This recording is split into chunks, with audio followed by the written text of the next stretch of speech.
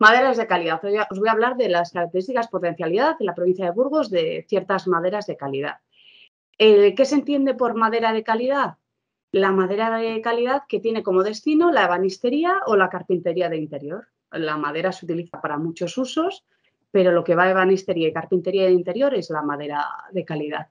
¿Qué pasa en Castilla y León? Pues que en los bosques eh, hay muy poca madera de calidad, porque hay muy pocas plantaciones de las especies que generan este tipo de madera. Falta suministro y al final en Castilla y León, ¿qué hacemos? Pues importar, importar esa madera. Eh, sobre todo las especies productoras de maderas de calidad son eh, por excelencia el cerezo y el nogal. Ahí veis que os he puesto cómo son esas maderas, que las conocéis todas del mobiliario que tendréis seguramente en casa, y también el fresno y el serval. El cerezo y el nogal son las que más se pagan y las más extendidas, lo que no quiere decir que el, resto de maderas no sean también maderas de calidad, pero bueno, su, plantación o su tratamiento o sus cuidados culturales no están tan extendidos y entonces es más difícil encontrar en Castilla y León eh, plantaciones de fresno, de serval. Eh, para ciertas condiciones especiales, como os pongo ahí, hay determinadas especies, el aliso, el abeul, que resisten un poco el encharcamiento y entonces podrían ir a ese tipo de suelos. El arce, el mostajo, serval de cazadores, almez, eh, requieren ciertas condiciones especiales que a lo mejor el cerezo y el nogal no las resistirían o el fresno y el serval tampoco. El, el, serval en realidad lo resiste todo, es la especie más versátil de estas de las que estamos hablando. ¿Qué hay que hacer lo primero cuando quieres hacer una plantación de madera de calidad? Pues elegir una especie adecuada.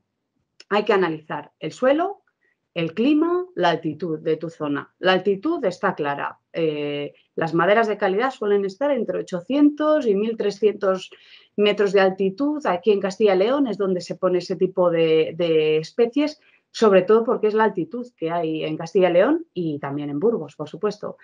Clima, pues el clima que hay, por ejemplo, en Burgos es el clima que hay. Entonces, tenemos pocos días de sol, o, bueno, o no muchos días de sol.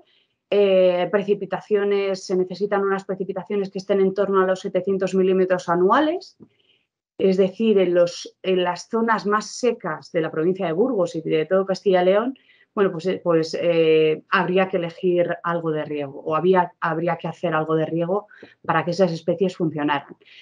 Y como elección de especie, lo principal es estudiar el suelo. es importante hacer una calicata para ver dónde está la capa freática, dónde está el nivel de agua eh, en ese tipo, en, los suelos donde tú eh, quieres plantar una especie de calidad de madera. Eh, las calicatas mejor hacerlas en agosto o septiembre, que es cuando el nivel freático está más bajo y te da la idea correcta de dónde va a estar el agua cuando pasan más sed los árboles que se en verano. Las características de este tipo de plantaciones es, eh, bueno, en cuanto a preparación del terreno, lo normal es que se hay que remover ese terreno para que se ablande. Si desde luego es un terreno que se ha cultivado durante años, pues hay que eliminar esa suela de labor. Y si es un terreno perdido, igual, ese terreno está, está, está compactado, está endurecido. Lo normal es hacer un subsolado o un arado pleno sobre ese terreno.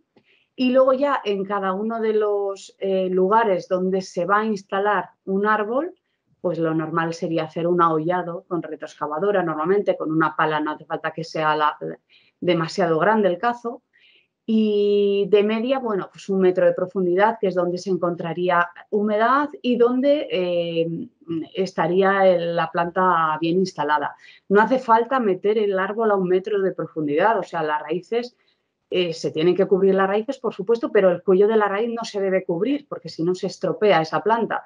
Entonces, aunque la raíz veamos que solo está a 30 centímetros de profundidad, el aullado sí que es interesante que se remueva al menos un metro de profundidad. Eh, la densidad de plantación que se pone, pues depende mucho de la especie, 4x4, 7x7, 10x10. Los nogales, por ejemplo, son las especies que necesitan más eh, distancia de plantación. De todos modos, eh, toda la planta se puede poner un marco de plantación de 4x4, 5x5, 6, x 6 que es la densidad más alta de planta. y luego ir haciendo clareos y dejar esa plantación al cabo de 10, 15, 20, 25 años al marco definitivo, que sería un, 7x7, un 10x10, en función de la especie. Sí que es interesante poner más planta de la que luego vaya a ver al final, porque así con los clareos se puede hacer una selección de la planta que sea mejor o peor. Si ya ponemos un marco de plantación, imaginaros, del cerezo, del serval a un marco de 10 por 10, esa es la planta que tenemos finalmente. Eh, si alguna planta no ha funcionado, pues nada, hay que quitarla y poner otra y ya va a ser eh, más pequeña. Al final, para que la plantación sea más o menos homogénea, lo normal es poner al principio una densidad de plantación un poco más alta de cómo va a quedar finalmente para la corta final de madera.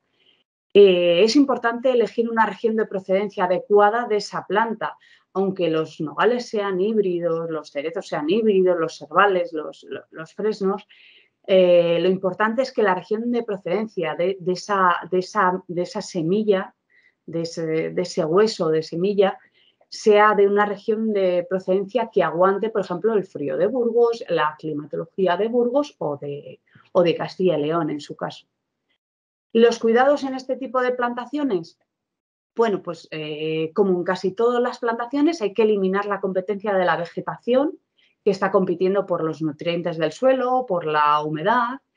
Entonces eso se hace a través de gradeos. La eliminación de competencia de la vegetación se hace con, un tractor en el que el apero que se pone es un gradeo que rompe el terreno en los 5 o 10 centímetros superficiales y, y, mueve ese terreno para que las raíces tengan esa aireación y además eh, la vegetación herbácea que está compitiendo por esos nutrientes, esa humedad, pues se elimine y sea todo para el árbol que está allí plantado. Eh, las podas, las podas, os pongo ahí a la izquierda un resumen, por ejemplo, de las podas en nogales, eh, los primeros años. Las podas son importantísimas porque estamos hablando de plantaciones que queremos que den una madera buena hay que hacer eh, las podas año a año según lo que necesite el árbol. Finalmente, ya veis en el dibujo final, habrá que dejar un fuste de 4 o 6 metros de longitud sin ningún tipo de ramas, para que al menos esos 6 metros de más abajo, 4 o 6 metros de más abajo, sirva para madera, sin nudos, bien formada, porque ahí es donde está la producción maderable del árbol, en los metros de más abajo. Para conseguir ese fuste tan limpio de nudos, etcétera, eh, no hay que quitar esos eh, desde el principio todos los, todas las ramas, ¿no? Hay que hacerlo poco a poco. Lo suyo sería ir podando año a año tanto las ramillas que van saliendo y compiten con la guía, como eh, las ramas que se hacen demasiado gruesas y es necesario quitarlas año a año para que no creen un nudo y creen esa madera de tensión que luego no nos va a servir. Eh, como ya os he comentado, cuando se hace una plantación normalmente se ponen más árboles de los que luego van a quedar en el turno final de corta. Y, la, tercera actuación que habría que hacer y es importante son clareos y claras. Clareos llamamos a los a la corta de arbolado cuando se trata de una plantación joven, son las, las, primeras veces que cortas árboles y claras sería más adelante, cuando imagínate, a los 25 o 30 años vemos que de verdad hay que seguir quitando árboles porque esos árboles necesitan más, más espacio para crecer. Por supuesto que tanto en los clareos como las claras, los árboles que se quitan son los peor conformados, los que se han quedado más pequeños, eh, siempre dejando una densidad más o menos homogénea en el terreno. O sea, hay veces que en una zona de la plantación todos los árboles tienden a ser buenos y en otra zona todos los árboles tienden a ser un poco regulares. Bueno, pues en la zona donde tienden a ser buenos no se pueden dejar todos los árboles. Hay que, eh, hay que quitar algunos y hay que sacrificar seguramente siempre algún árbol bueno para que la densidad en la plantación sea más o menos homogénea. Otro cuidado de la plantación que se debe hacer en estas plantaciones de madera de calidad, que estamos hablando que al final lo que se quiere es tener una madera de calidad que nos sirva a nosotros y que esté bien protegida, pues un cerramiento para que no entren animales, para que no entre ganado, para que los curiosos no entren y protectores individuales que son los tubos eh, que pueden ser de plástico, pueden ser eh, de metal, para proteger esas plantas, sobre todo cuando son jóvenes pues, de animales pequeños que puedan entrar por el cerramiento o que, puedan roer las raíces, que puedan roer el, fuste pequeño y hay que protegerlos. Eh, si esa plantación está instalada en un terreno donde los veranos son demasiado secos, no hay la, precipitación suficiente, pues habría que regar. Eh, en este tipo de plantaciones lo normal es que no se instale un riego continuo, no se instale ni un riego eh, por aspersión ni un riego por goteo.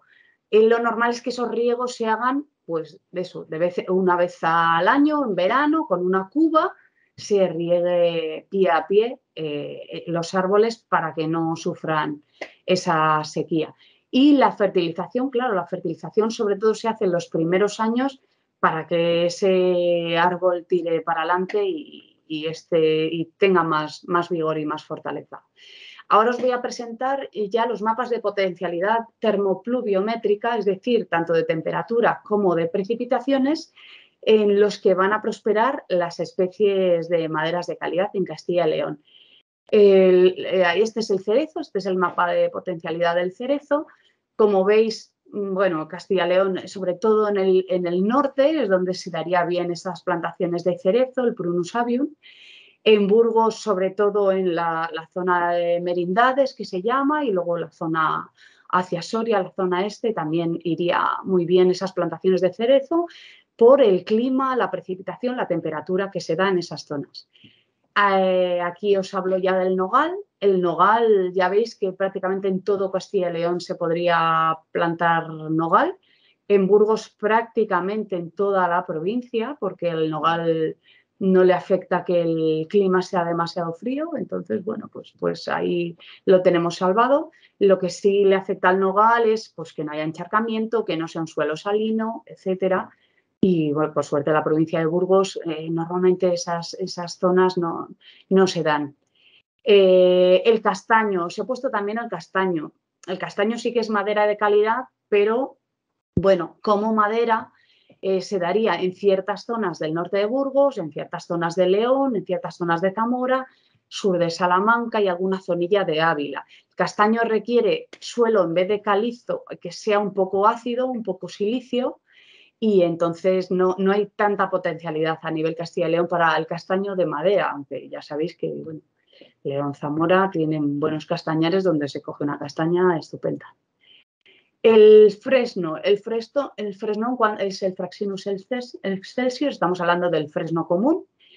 Eh, mm, eh, en Burgos ya veis que se da en muchas zonas. El fresno requiere un poco, de eh, un poco más de humedad que las otras especies que hemos hablado, del que el castaño, que el nogal y que el cerezo. Entonces, bueno, tendrían que ser zonas donde hubiera más precipitación. En Burgos, en mucha zona de la provincia se da el fresno, toda la zona norte.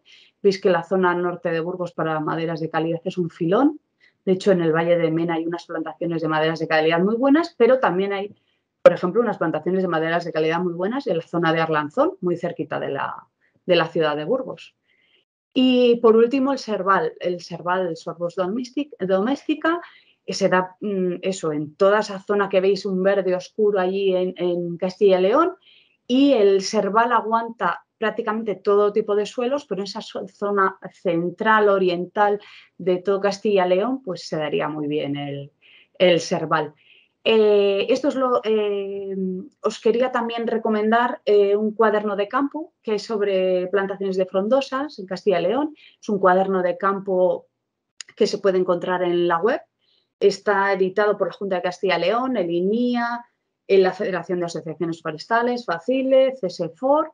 Participaron en la creación de ese cuaderno de campo y ahí se explica perfectamente las condiciones y características para este tipo de plantaciones eh, os pongo los datos de la Asociación Forestal de Burgos por si nos queréis pedir ese cuaderno de campo o cualquier otra información sobre este tema que os pudiera interesar.